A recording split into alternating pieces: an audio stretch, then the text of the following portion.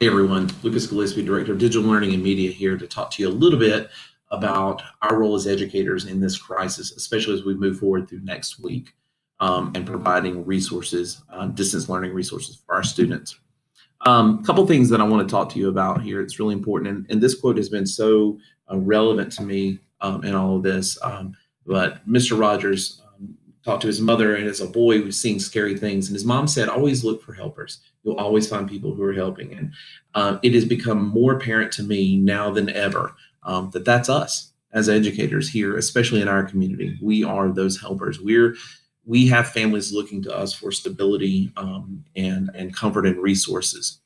Um, and so it's important as we move forward to think about what's most important um, here's some of the early data that's coming out of our phone calls home. And, I, and first off, I just want to thank you for using your time um, to reach out to our families. The feedback from that has been overwhelmingly positive.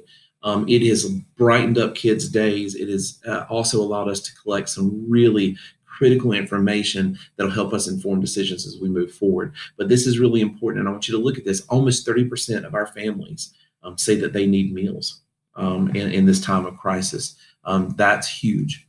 Uh, 6% of our families say they have no internet, and almost 21% of our families have no computer at home. Um, this certainly, this information impacts how we move forward um, with learning here in our district. So again, I ask you, what's most important?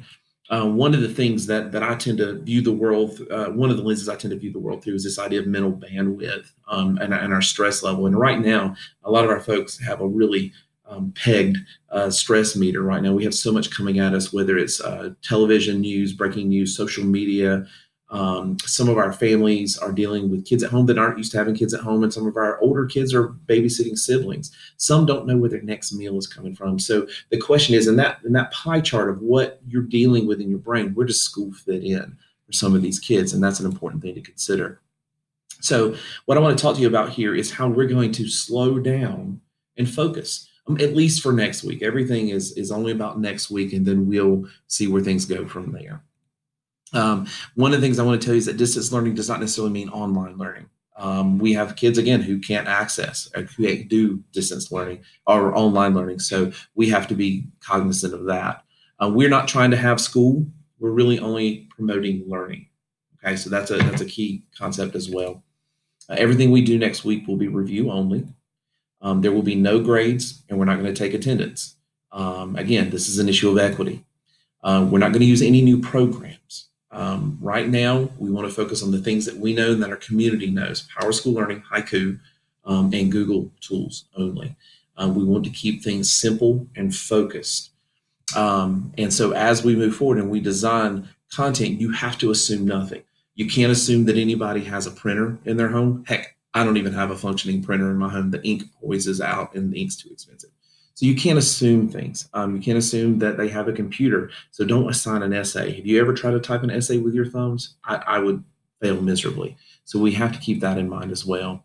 So everything that we do um, for review and really moving forward, we have to have an alternative that we that we as a district print and distribute in some way for everything that we offer online. That's going to be a key guiding thing because, again, it's about equity um, for our students.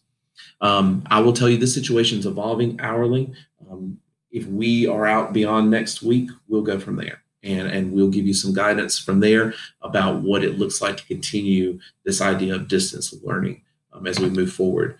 Um, again, remember, you are Mr. Rogers helpers to our folks and, and our kids and our families um, and they're counting on us, and, and we've got to step up and, and serve them. Um, I want to thank you so much for everything you're doing. Um, it is just uh, so rewarding to see the feedback coming in um, based off of the work that you guys are doing, and I'm proud to count you as among my colleagues. Uh, thank you so much. Um, and if you have any questions, feel free to contact me, and, and I will answer those as quickly as I can. Thank you.